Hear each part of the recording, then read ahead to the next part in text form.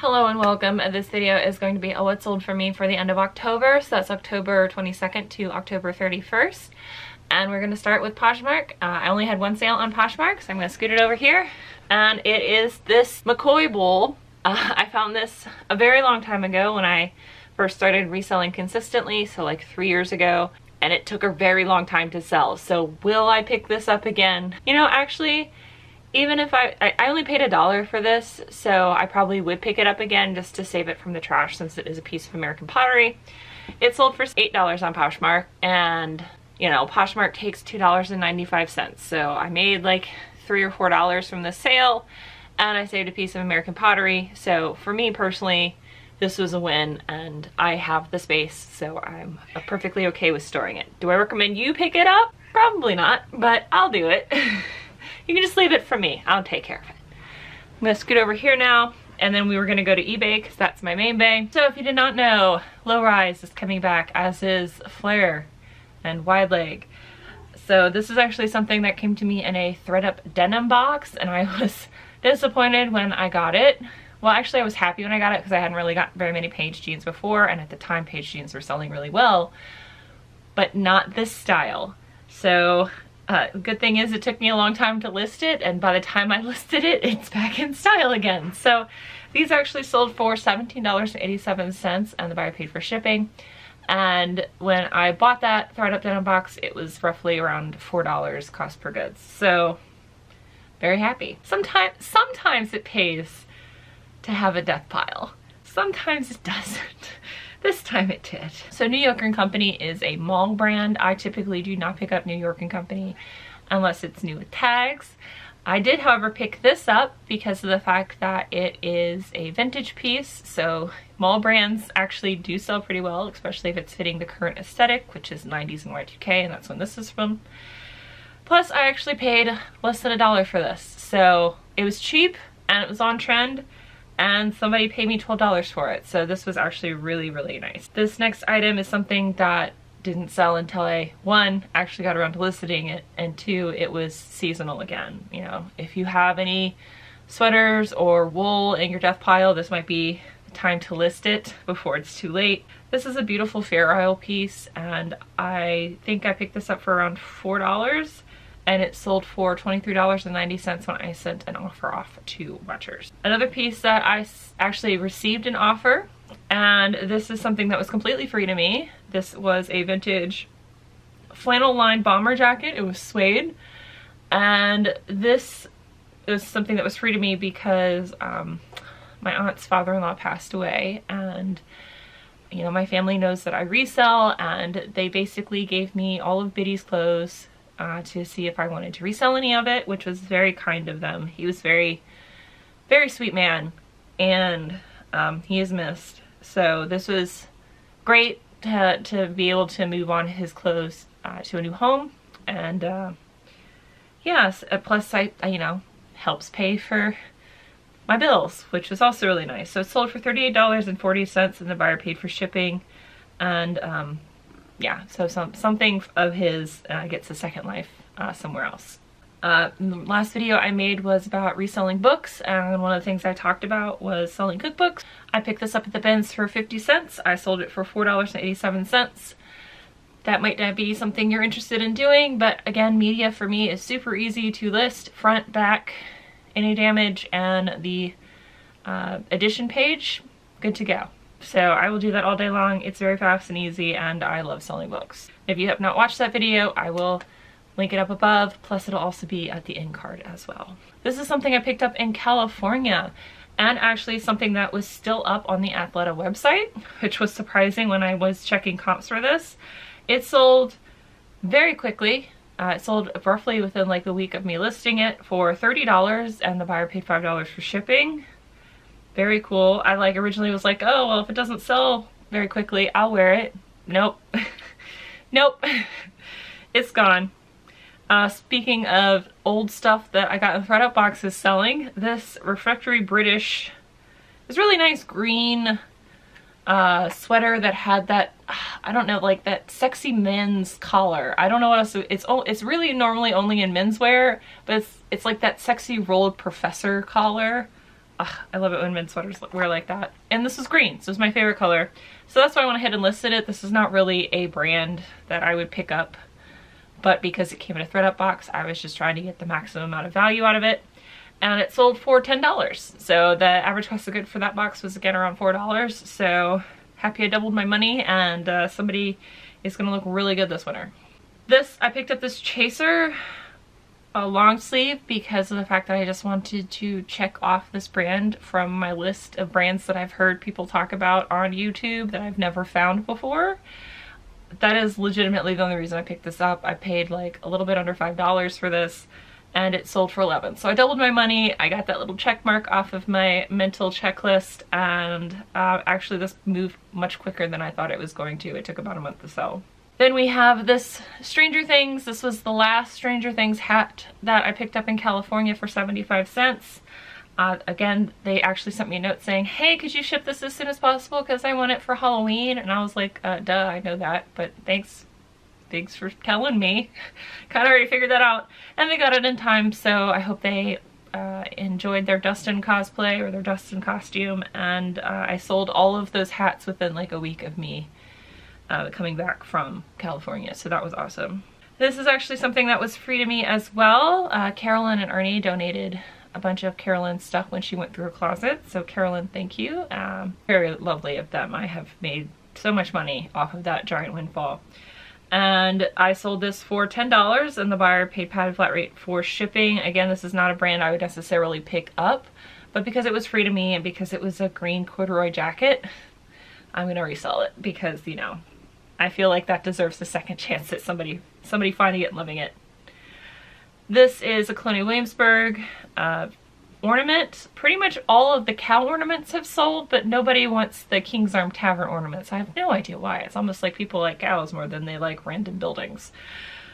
Who knew? But I picked these up for a dollar uh, at uh, the Restore in, in Williamsburg, which is next to Colonial Williamsburg. And uh, I basically donate all the profits I get from selling these to the Colonial Williamsburg Foundation because that's originally what this is for. It's a fundraiser piece and I guess they just donated their extra to the Restore. And while I didn't, I don't have to do that, I do do it because, you know, I really love Colonial Williamsburg. Um, I, I spend at least one day a, month there and I really, really want it to con continue uh, doing its thing with education and keeping that information alive. Okay, so the next item is another thing that I was super excited to find because I this is the only time I've ever found this brand. And it's a brand that I've heard about both from Courtney at Comet Tags and also uh, Kay from Passports and Pizza Pies. And I finally found it. I actually found it in the men's section at uh, the CHK near My, Dear My House. And it is Frank and Eileen. This was the Barry Flannel and I was super excited to find it. I did not think I would ever find this brand unless like I went to California or went up up north somewhere in New England, but I did. And it sold for $35.90 and the buyer paid for shipping. So that was awesome and I will definitely continue to look for Frank and Eileen because uh, that was a nice sale. This is something I have to thank a viewer. So Glitzy Sparkles bought this from me. I sent out uh, either 15 or 20% off offers to watchers and they snapped this up. This has been sitting in my death pile in my kitchen for forever. I finally got around to listing it when I've been trying to do my clean out and they bought it for $6.30 and then paid for shipping. So thank you very much. And I hope you liked it and I hope it's holding all of your little trinkets. This next item is an Eileen Fisher item. This is something that I had hoped to wear myself, but it was very sheer and I did not like the way it draped on me, so I went ahead and sold it. Uh, someone bought it for $15 and the buyer paid for shipping. Uh, another older item from a thredUP box, I got this from a men's thredUP box, uh, so cost of goods was roughly about 3 to $4 for each of those pieces.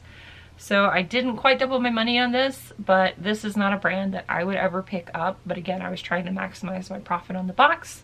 So I did list it and it sold for an offer of $7 the buyer paid $5 for shipping. The thing had been listed forever.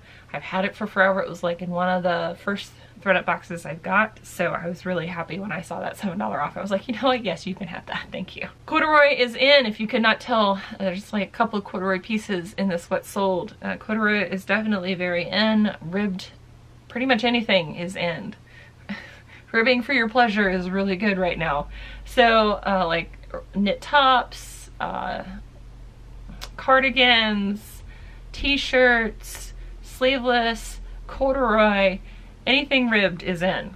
I got this pair of Adriano Goldschmied corduroys in this mustard color. I picked these up at the CHKD for $5 and they sold for 15 and the buyer paid padded flat rate for shipping. Another linen piece I had originally picked up for myself. This is a Tahari piece. I've actually done uh, quite well with Tahari, which I'm very surprised about, but I'm sticking with like linen pieces. So maybe that's why. I, I just love picking up linen pieces in general. And this also sold for $15. This is something I picked up in hopes I could wear it for myself, but it was too tight in the shoulders. This one draped well in the front, too tight in the shoulders. The other one fit well in the shoulders, but draped real, real weird on my body, so I struck out twice. But I love picking up 100% linen, even mall brands like this. I sell them pretty quickly, uh, as long as I price them reasonably. This is another piece I've had for actually quite a while. Um, this is a vintage trivet it's just a little like tile, but it had the Walt Disney Castle on it. Um, this is from the 70s based on the logo and uh, I picked it up for $2, it sold for 10 and I saved something from getting smashed and trashed and thrown in a landfill. That's all I really care about. Well, that's not true. Care about making a profit and also saving stuff from the landfill. If I can do both of those things, extremely excited. This is a hat from the Washington football club. I think they're the Washington Commanders now. They've gone through three names in three years, which is impressive. Um, but so people will still buy this brand, uh, this logo, if they want to, and I'm going to sell it if I get it for real cheap. Uh, I paid less than a dollar for this. It was at the Air Force retirees house, so sold it for eight. Really happy just to have it out of my house. Again, that Air Force retiree Uh, estate sale buy, amazing. Uh, I think, to be honest, I probably picked up as many clothes from estate sales and sold those as I have from the thrift store at this point in my career, which is wild to me to think about. This Halloween shirt, I picked it up at the bins. Uh, I honestly picked it up for my mom and my mom was like, no, try to sell it first and if it doesn't sell by Halloween, then I'll take it and it's sold before Halloween so mom I'm sorry. This is not for you. Um, somebody bought it for seven dollars fifty cents. Again I picked it up at the bin so it cost less than a dollar. And yeah really happy about that. Um, I don't worry I gave my mom another fall oriented shirt and I've given her a couple of other shirts so I also mom's gotten stuff I just whenever I see anything Halloween my mom's born on Halloween I pick it up because of her or for her I should say Y'all know I love selling pearl snaps. I did not realize that Southern Classics was not necessarily a good brand to pick up in pearl snaps. I just saw pearl snaps and uh, really nice vibrant colors. One of those colors was green, so of course your girl snapped them up. Uh, I did double my money off of this purchase, so I'm fine with that. And I just know that Southern Classics, and unless it's like a vintage piece, maybe I should just not, not pick that up. Or unless I get it for like dirt cheap, then I'll pick it up. This is a Kavu piece. Uh, I was actually able to find the exact jacket name and style, which is not something I'm really able to do a whole lot with Kavu, but I did, and I do think that that helped. Um, this is a piece I picked up, another piece I picked up for myself um, to wear it until it sold, and it sold as soon as it started getting cold again. So I did not get a chance to wear this. Uh, but it sold for $30 and the buyer paid $10.60 uh, for shipping. I think it's the thumb holes that sold it. Whenever any, any shirt or jacket has thumb holes, they're supposed to be there, I always put that on there because uh, that is definitely something that I enjoy even though none of my stuff currently has it because it's just, it's, it was something that was really big in like the mid 20 teens and then it seems to have just disappeared for some reason. Hello, Editing Bob here. I haven't seen y'all in a while, but I forgot this dead stock Yves Saint Laurent monogram white cotton handkerchiefs that I found when I went to the bins with Brett in Richmond and they sold for my full asking price of $14.87 and the buyer paid for shipping. So give you back to other Bob now. These Frankenstein candles I found in California at a thrift store. I paid $4 for them. They sold within two weeks of me listing them uh, for $10.30. So I doubled my money and I was so excited that I got them back from California uh, without breaking. So, and they also made it to their new home without breaking. So I did good. and I doubled my money here and that was really nice. This basically paid for a coffee while I was in California. now this, this sale was amazing for a couple of reasons. So, you know, spooky season, of course people are going to want to watch scary movies. This is something I picked up at an estate sale for a dollar, so that's one reason why the sale is awesome. It sold for $19.87. The buyer did not just pay $4 for shipping. The buyer paid $50, over $50 for this uh, DVD. It was new, sealed, and it went somewhere overseas. So somebody paid $50 for this one DVD there is money in DVDs. Normally if it's media, I do only try to pick it up if it's if it's still sealed and new. Um, but it's just rare that I find stuff like this. And when I found this, I was excited. And then when I saw the sale, I was even more excited. So this was really cool. And there are people out there for this kind of stuff. Don't just sweep over the media, just like look at it a little bit. This next um, set of shoes, I don't remember if I got these in a thredUP box or if I got them at a thrift store. The thing is, is that if I got them in a thredUP box or if I got them at the thrift store, it's going to be roughly $6 either way. I really love these Oxford type of shoes. I actually own a couple of pairs myself, but they're American Duchess, so they're 100% leather and like very well made. Um, so whenever I see these type of Oxford shoes out and about, not not American Duchess. I'd probably keep them all if I found more American Duchess shoes. But like any type of these Oxford shoes that I find, I generally tend to pick them up because I like the way they they look. They're just classic. Um, they're really good for history bounding. They're really good for costuming. So yeah, so I picked them up or I got them in a throw box for six bucks and they sold for 15. And hopefully, and somebody obviously already really liked them because they left me a positive feedback.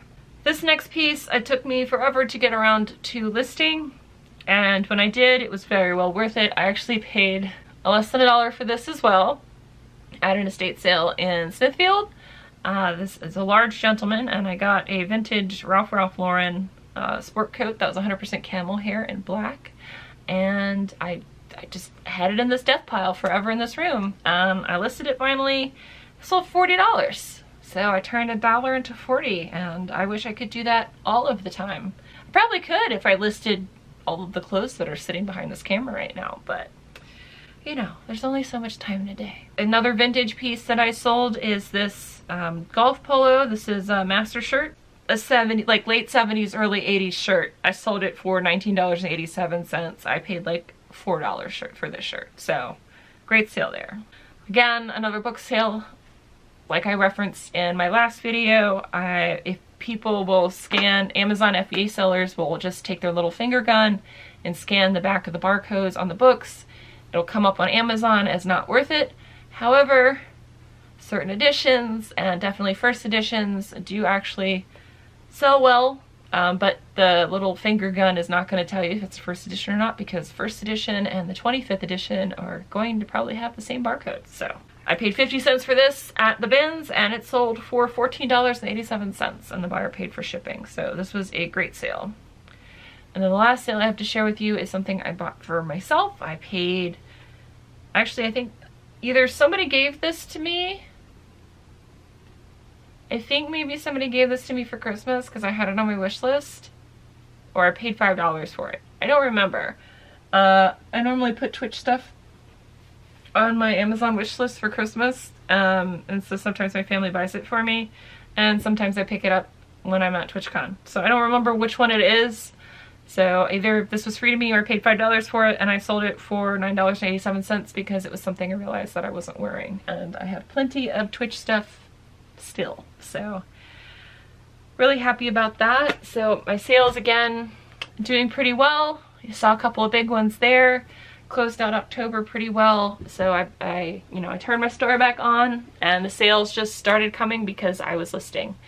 and that's definitely the best thing I can recommend if you're having a lull in your sales, either because of the fact that, uh, you know, you went on vacation and had to turn your stores down, or maybe you're just having slow sales in general, just keep listing. They'll pick back up.